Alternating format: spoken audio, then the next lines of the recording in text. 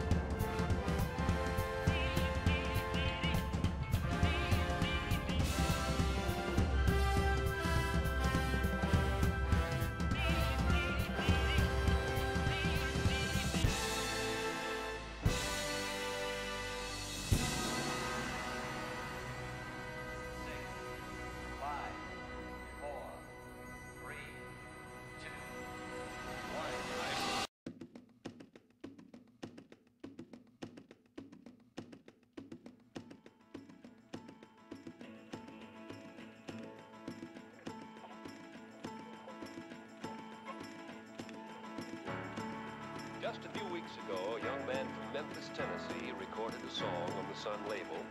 And in just a matter of a few weeks, that record has skyrocketed right up the charts. He's only 19 years old. He has a new, distinctive style